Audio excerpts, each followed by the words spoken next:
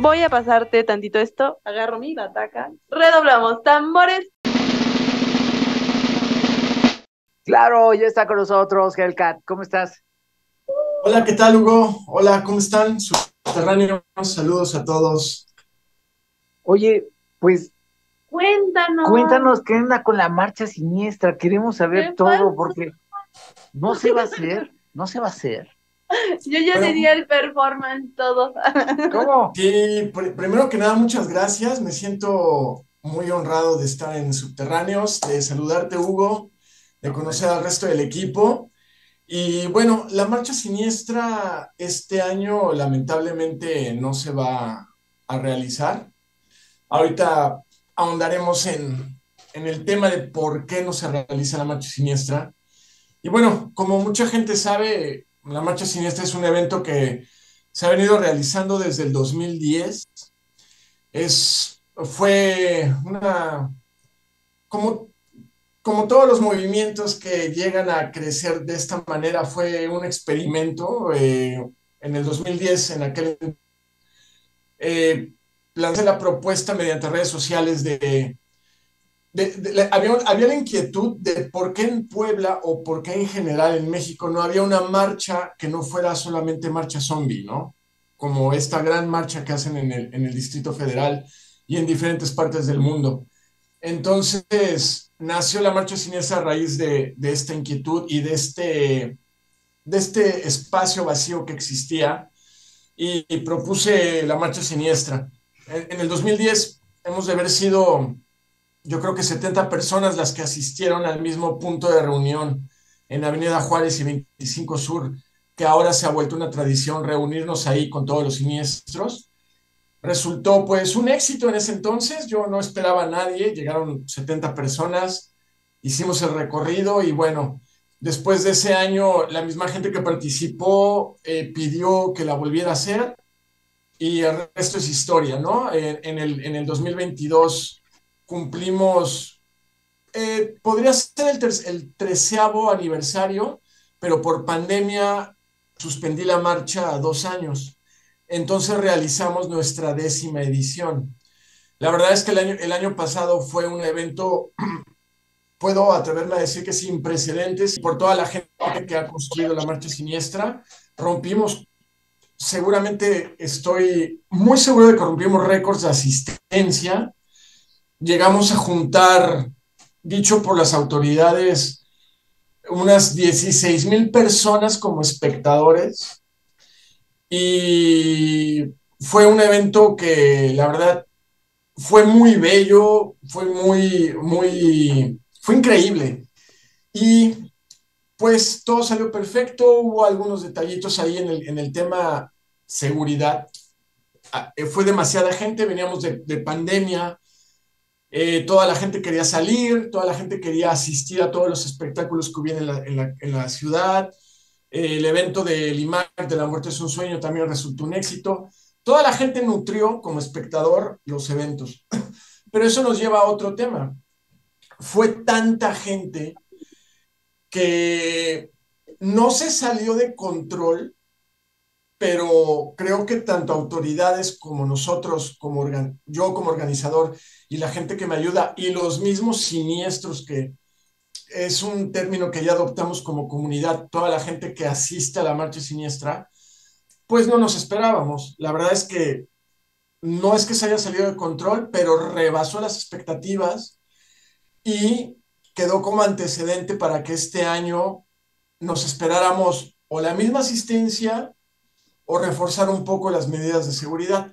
Pero bueno, previendo esto, se comenzaron a hacer los preparativos y me acerqué a las autoridades que quiero recalcar y no quiero que se malinterprete.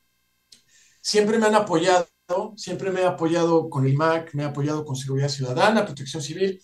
Se hace una serie de, requisitos y se, se llenan una serie de lineamientos por parte de que requiere el gobierno o el municipio para poder hacer un evento tan grande como este.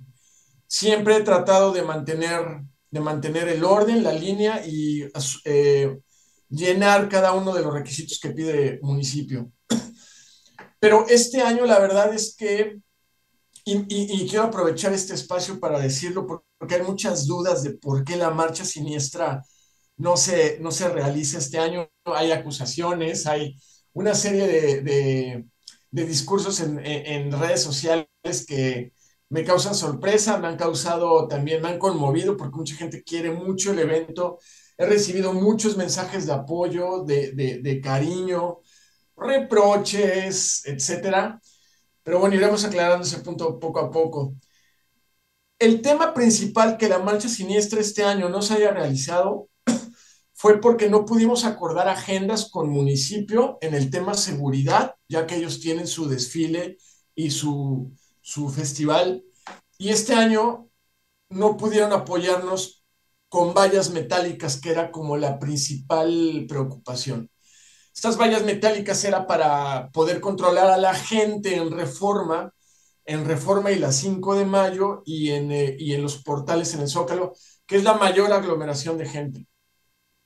El año pasado, desafortunadamente, la gente no respetó, yo entiendo la euforia y, y, las ganas de poder tomarse la foto, el video, estar de cerca con los siniestros, pero lamentablemente la gente no, entiendo la cantidad de gente, pero no respetaron el tránsito del contingente. Entonces, la verdad es que se volvió ahí un poco desordenado eh, el tránsito llegando a reforma y, y, ya hubo un momento en que entre gente que nos fue a ver y siniestros, se volvió, la verdad es que se volvió un caos. No tengo por qué esconder el tema, hay, yo soy el primero que revisa videos, fotos, veo las fallas, veo en qué puedo mejorar, pero la verdad es que se le salió de control a todo mundo sin que hubiera ningún accidente. Este año, perdón, este año las autoridades me, me pidieron que reforzáramos la seguridad. El tema vallas metálicas no nos lo pudieron proporcionar ellos. Lo entiendo perfectamente, siendo que en años anteriores nos han apoyado en, el tema vallas metálicas, porque nos pegamos algún, eh, algún desfile que se hace antes o después de la marcha siniestra, formamos parte de la cartelera de los, de los eventos que se hacen en, esas fechas y habíamos podido, eh, habíamos podido coincidir en el tema de poder usar vallas metálicas. Ahora, este año no se pudo, pero quiero también recalcar o, darle a conocer a la gente que no lo sabe, la Marcha Siniestra es un evento que no pide absolutamente un centavo por participar. Es un evento que se ha hecho a lo largo de los años gracias a que amistades con las que cuento han proporcionado cabinas móviles, talento artístico, DJs, equipos de audio, camionetas, etc.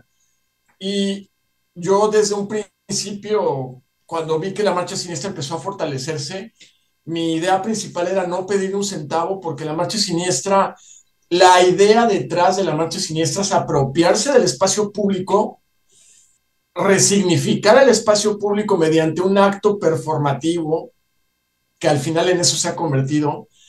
Y fue así que la marcha siniestra se ha convertido en una comunidad. Yo les puedo asegurar y aprecio mucho todos los eventos que se hacen en cada una de las ciudades de la República. Y Puebla creo que hace un evento bastante colorido y bastante nutrido en cuanto a color, costumbres y bueno, la marcha siniestra no es ni un Halloween ni es una festividad de Día de Muertos. La marcha siniestra es una celebración del género del horror, es un acto amateur artístico por parte de la misma gente que asiste y que responde a la convocatoria que yo lanzo en redes. Y es un evento que no busca lucrar de ninguna manera. Por eso es que no se pide inscripción, no se arman contingentes. Yo lo que, yo lo que he querido mantener es como esta vibra de, de poder apropiarse del espacio público, a lo mejor no ir como, como un desfile cívico, sino que llegar, tomar las calles pasarla bien y dentro de una marcha, ¿no? En una ruta, de alguna manera controlado, pero sin tener esta disciplina de que, de que va ahora la escuela tal y luego el grupo teatral tal, tono. La marcha siniestra está construida por la gente y para la gente. Al ver que la marcha siniestra ha crecido tanto este año, la demanda de seguridad era mayúscula. La verdad es que nos aventamos a, bueno, me, me, aventé a, hacer la organización como la veníamos haciendo años atrás y no fue suficiente. Yo entiendo la, ni siquiera una negativa, fue una recomendación por parte del municipio de que si no había una estructura un poco más fuerte para cubrir el tema seguridad, la marcha siniestra no iba a poder ser realizada. Entonces, la verdad es que el tiempo de preparación son tres meses, se requirieron eh, patrocinios, se lanzaron correos, nos acercamos a grandes marcas para que nos pudieran ayudar para cubrir el tema vallas metálicas porque cada uno de los artistas que participan año con año estaban puestos, poniendo cabinas, poniendo plataformas, audio, DJs, todo lo teníamos cubierto. Pero el tema vallas metálicas, la verdad es que no se pudo. Te, estoy hablando que teníamos que emballar de la 2 a la 5 y de la 5 el resto de los portales. Lo entiendo, aprecio el, tema de que nos hayan corregido e, y sugerido cubrir este tema. Estamos hablando de un gasto de más de 80 mil pesos. Entonces, la verdad es que no, no hay manera de poder de como lo veníamos haciendo, no hay manera de poder hacerlo. Y es, yo prefiero que el niño que va en carreola, la abuelita con los nietos, el papá con el hijo, la mamá con el hijo, o las familias enteras, o los mismos grupos de amigos que asisten, estén seguros. Y si no puedo cubrir el tema de seguridad, preferí posponer para 2024. Híjole, creo que eres muy amable Sí, creo que eres como muy amable, porque realmente para los que no conocen es un evento familiar, o sea, tengo amigos que luego vienen su familia por las vacaciones en estos días y se jaló con toda la familia, ya sabes, desde Oaxaca se vinieron todos a la marcha siniestra y ellos, y dice, lo más interesante es cómo los niños van interpretando tanto lo que es el performance, tanto lo que es el horror realmente, tanto eh, conocer espacios seguros, ¿no? Porque pues realmente todas las personas podían estar y transitar y tanto ser parte del performance o no. Pero pues no sé, ah, me reservo mi opinión, date tu primer. Yo, sí, yo, a ver, yo, yo sin ánimo, que me digan grillero no me importa, pero sin ánimo de ser grillero. A ver, la, la marcha de Día de Muertos en la Ciudad de México se origina por un evento que hace la Castañeda, la banda de rock, ¿no? y después se va multiplicando, se va multiplicando. Yo no entiendo por qué las instituciones se apropian de procesos comunitarios, ¿no? O sea, ¿dónde está esta lógica de si ya, ya se organizó la banda, ya se organizó la comunidad y, y concreta un proyecto, ¿por qué no apoyarlos? Sino mejor me lo apropio, yo sí tengo los recursos, yo sí lo puedo solventar y yo hago mi forma y entonces digo que yo lo hago. O sea, a ver, no hay un respeto a, lo que estás diciendo, a la comunalidad, a los procesos colectivos. Esto tú lo hiciste. Tú no tienes el recurso para hacerlo, Estado, estás para servirle a la ciudadanía. Solventa, detectaste esto, detectaste que no hay seguridad en esta malla, ponlo. Es un proceso comunitario, ponlo. La seguridad es su responsabilidad. Estás, te contratamos, en las elecciones te contratamos para que nos cuides ¿no? Entiéndelo así. Sé que eres muy amable, muy diplomático. Yo lo estoy diciendo, no te preocupes. Yo, Hugo Cabrera, lo está diciendo. Respeten los procesos comunitarios, respeten los procesos de organización ciudadana, cuídenlos, no se vengan a colgar iniciativas de otros. Eh, yo creo que la gente tendría que reconocerlo y el poder va a estar en la gente.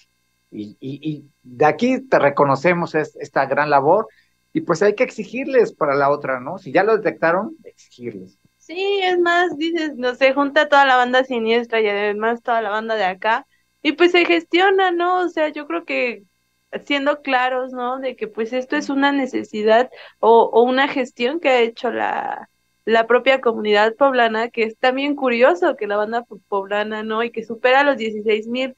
Y en lugar de verlo como problemático, es, un foco que te está diciendo, oye, te están pidiendo más espacios para la expresión, para eh, crear momentos eh, más allá de la rutina, como decíamos, ¿no? Coxar ciudadana, ¿no? De que la ciudad solo sirve para que pase el camión y aquí pasa esto, ¿no? Pero ¿en qué momento tú la habitas, ¿no?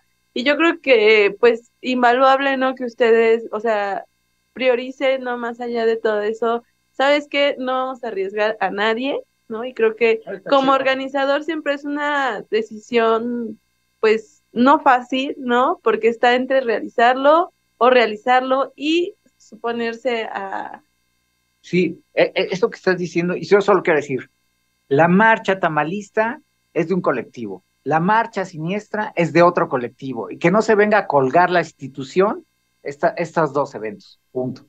Sí, fíjate, justo lo que comentan, que la marcha, bueno, ha crecido bastante. No niego que en ediciones pasadas el gobierno me apoyó, me han apoyado. Incluso tuve, digo, y quiero ser bien claro y tampoco omitir, tuve acercamiento con instituciones. Tuvimos, eh, bueno, quiero aclarar que yo no estoy en Puebla, estoy este, en el sur ahora, pero eso no complicaba la, la organización. Tuve acercamientos por, por, por medio de, justamente como lo estamos haciendo. El tema fue bien claro, eh, no concordamos agendas y el problema es, no tenemos para proveerte ahorita en este momento lo que tú, lo que tú necesitas. Nosotros como autoridad lo que estamos viendo que tú necesitas, con todo lo demás cuentas como siempre.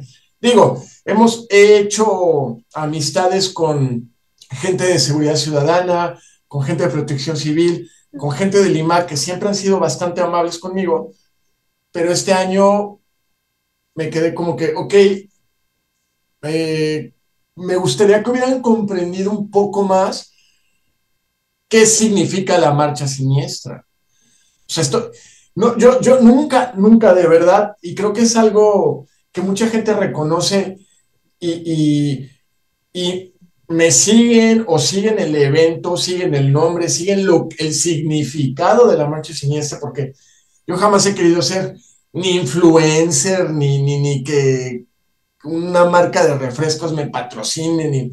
Yo siempre he tratado de estar neutro, simplemente, bueno, la gente necesita un líder, yo me he convertido en ese líder de esta comunidad tan bella, tan nutrida y, y, no saben la cantidad de mensajes ahorita que, que, he recibido en redes de, digo, he recibido de todo, pero he recibido muchísimo cariño de, por parte de la gente.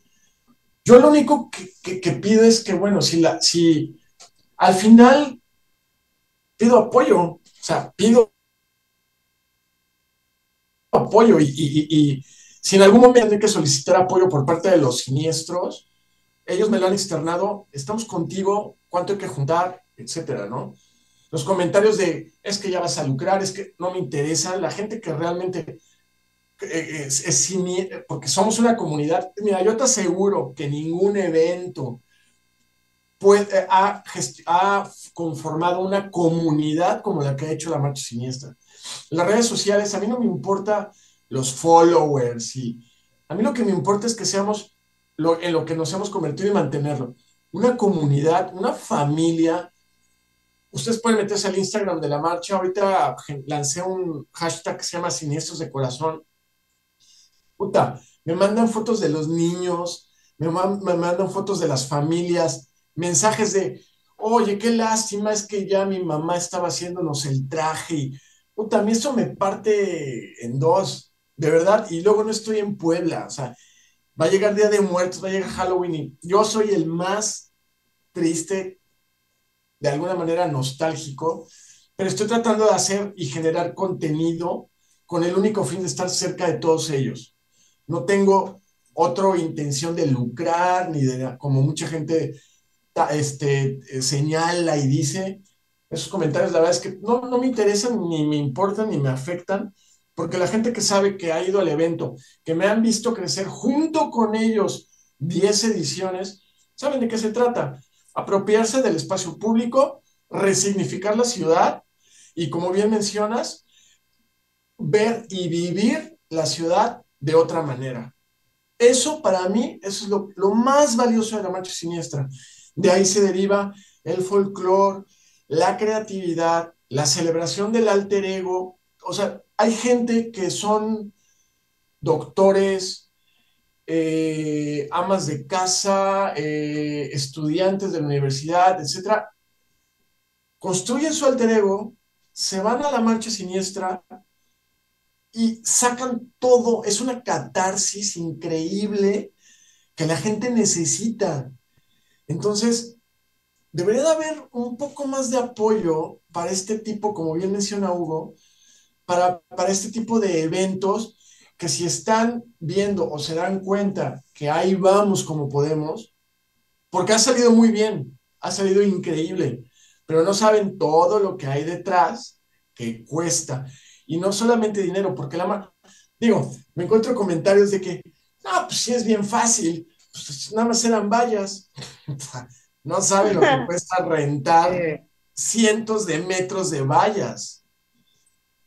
Sí, no, no hay por dónde, creo que ya está expuesta la idea eh, de ambas partes, ¿no? La opinión de, de, aquí, de los que hacemos periodismo cultural desde hace muchos años, desde ese perfil va nuestra opinión, coincidimos. Claro, su opinión como gestor. de qué se trata. está manifestado, no hay marcha, no hay marcha siniestra. Cuéntale a la banda entonces qué pueden hacer para acercarse a la banda, aparte de acercarse a la banda o qué esperar próximamente. Ha, sido curioso porque a raíz de que la marcha siniestra no, no, es, no va a suceder, en redes sociales, en los comentarios, en los comunicados, en todo lo que está sucediendo ahorita en redes sociales, han salido células nuevas de activistas del horror. Y me parece fantástico.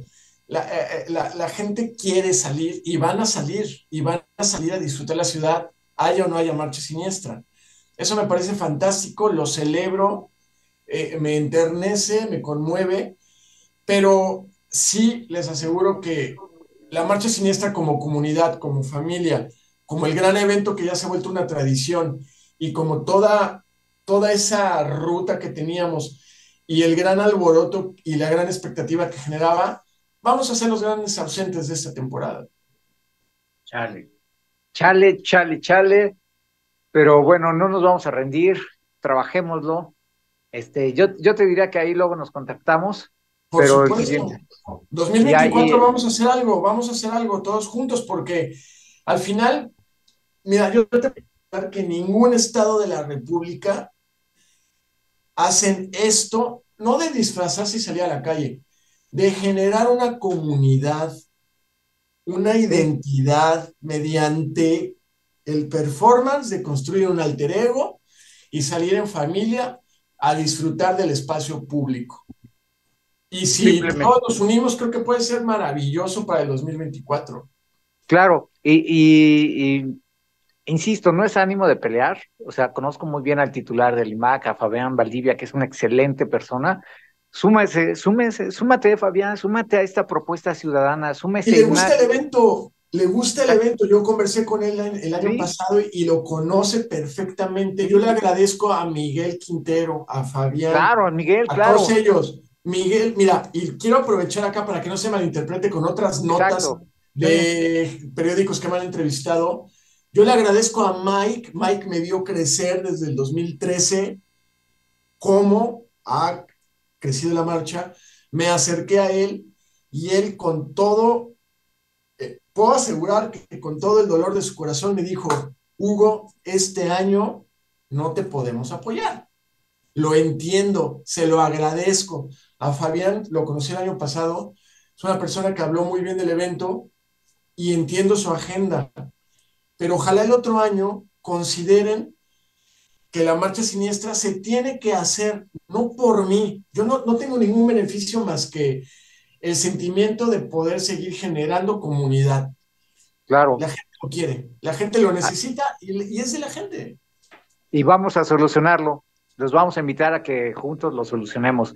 Pues chidísimo, Hugo, ya está, ya está hecha la invitación, los estamos invitando, los estamos invitando a que se sumen a solucionarlo.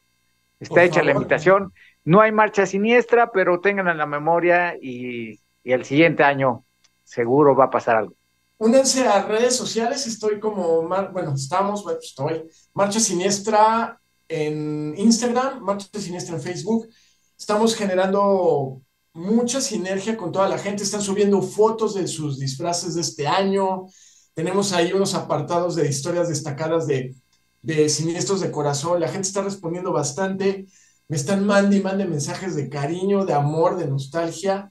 Y bueno, no pasaremos desapercibidos, pero creo que podemos hacer algo todos juntos, como colectivos, como subterráneos, como, under, como cultura underground. Hay que unirnos y ver cómo hacemos para que siga, siga subsistiendo este tipo de eventos que, que lejos de lucrar o lejos de buscar un interés económico, buscan crear comunidad y sobre todo que suceda algo en Puebla.